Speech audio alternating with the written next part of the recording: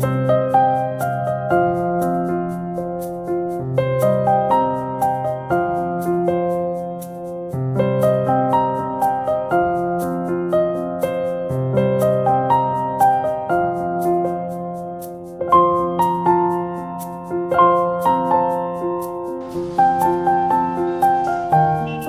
গ্রীষ্মের প্রখর তাপ উপেক্ষা করে কেউ বস্তা, কেউ বালতি অথবা গামলায় করে কঙ্কর পাথরকুচি বয়ে নিয়ে যাচ্ছেন।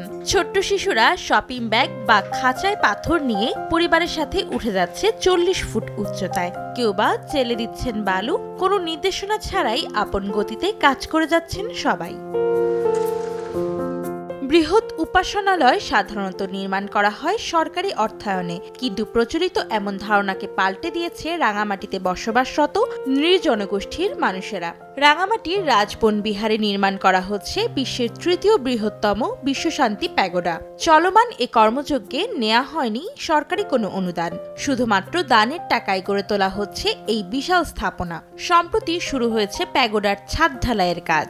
আর সেই কাজে স্বেচ্ছায় শ্রম দিতে শহর তো বটে দূর পাহাড় থেকে ছুটে এসেছেন অনেকেই। কেনাকাটায় একশো পার্সেন্ট পর্যন্ত ক্যাশব্যাক। জিতে নিন বিএমডব্লিউ সহ হাজার হাজার পুরস্কার।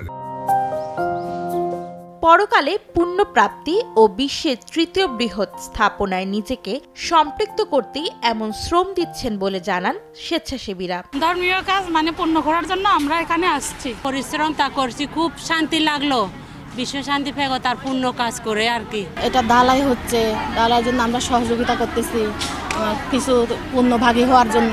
আমরা এখানে কাজ করতে পেরে অনেক মানে ভাগ্য ভাগ্যের ব্যাপার এটা কর্তৃপক্ষ জানান প্রয়াত বনভান্তের ইচ্ছা পূরণেই নির্মাণ করা হচ্ছে এই প্যাগোডা। কেনাকাটায় একশো পার্সেন্ট পর্যন্ত ক্যাশব্যাক জিতে নিন বিএমডব্লিউ সহ হাজার হাজার পুরস্কার। পরম পূজ্য নির্বাণপ্রাপ্ত শ্রদ্ধেয় বনবান্তে উনি পরিনির্বাণ যাওয়ার আগ মুহূর্তে আগেই উনি বলেছিলেন যে এইরকম একটা যদি বিশ্বশান্তি এই অঞ্চলে হয় তাহলে আমাদের এই অঞ্চলের জন্য, সবার জন্য মঙ্গল সাধিত হবে।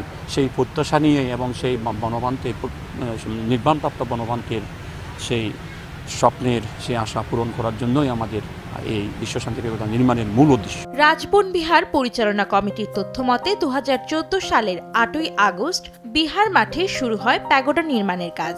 ছোট বড় দুশো তিনটি পিলারের ওপর নির্মাণ করা হবে চারতলা ভবন। তার ওপর নির্মিত হবে চূড়া।